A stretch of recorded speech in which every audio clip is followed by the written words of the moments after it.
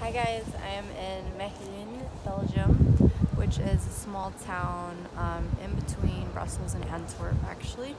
And today I've spent the day walking around the city, I actually biked to town, but I first went to the St. Rumbold's Cathedral.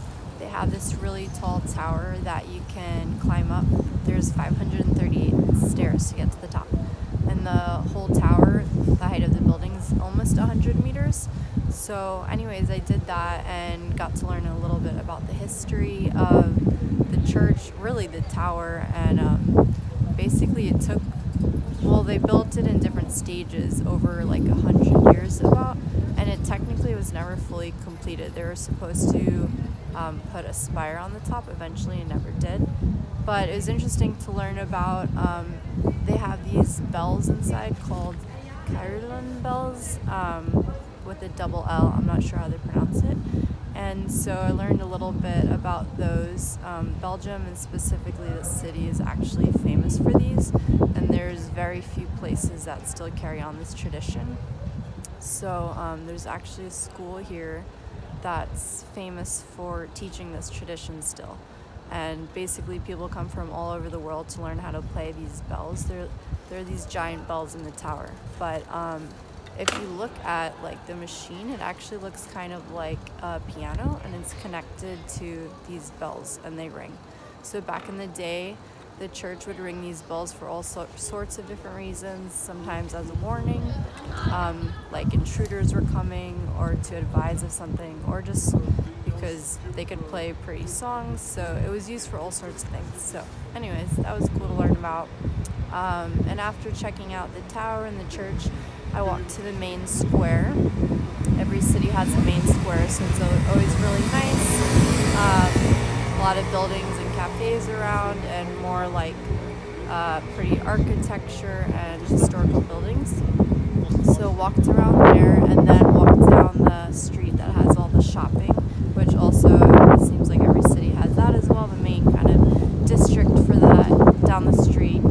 Um, and I briefly stopped in a bar to check out the um, World Cup game because Argentina was playing. I only caught the very end and they tied, so too bad they didn't win, but only the first game. So, so a little bit of that, and then I walked back down to the canal and actually went for a boat ride. So that was nice to see all the sights from the water, um, and also they had basically like an automated um, narrator on the boat, which would tell you about everything you're seeing. So check that out. Um, also, Belgium is similar to the Netherlands with the canals. Probably not as much, I would say, here as the Netherlands, but they were originally built actually as a defense system um, to protect the city so that if people were trying to intrude in the city, basically they'd have all these barriers to get into the center. So, learn that um, some time ago, but wanted to fill you guys in. And um, now I'm thinking I might stop by at this famous brewery to check it out. The tours are over, but probably just have a look at the building anyways. Um, it's famous here and it's been around for like five generations. And I also might stop by a, um, it's a World War II memorial, a museum Again, not that it would be open, but they might have some stuff outside. So I'm to take a look and see. Um, tomorrow I'll be heading out, going to London. So getting ready for that. Let me show you guys real quick a little bit of view before I say goodbye. So back there is the main square.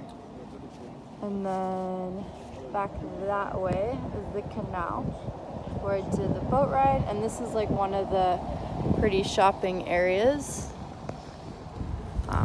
there's another street beside me. So, anyways, you get a view of what I'm looking at. Um, I'm gonna say goodbye here. Um, if I remember some more things about Belgium later on, I will catch you guys up. But um, until next time, talk to you guys soon.